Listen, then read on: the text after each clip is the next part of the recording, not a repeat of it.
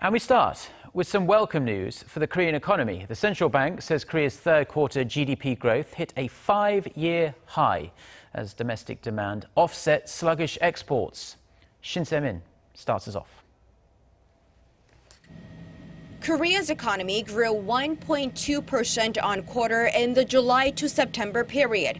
That's the highest growth rate since the second quarter of 2010 and the first time in six quarters for the rate to top 1%. On year, GDP growth was up 2.6%.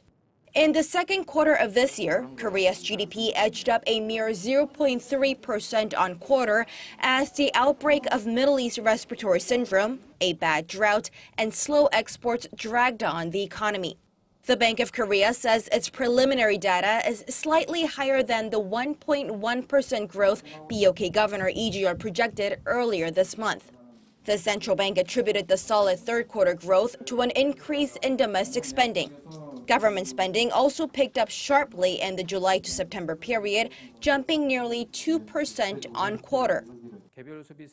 Government efforts to spur spending, like cutting consumption tax, had a positive effect on the third quarter figures. Investment in the construction sector spiked 4.5% thanks to increased demand for new buildings. It isn't all rosy, though. Exports, a key driver of Korea's growth, were down 0.2% on quarter. The latest figures come a little over a week after the Bank of Korea cut its 2015 growth outlook to 2.7%, 0.1 percentage point weaker than previously forecast.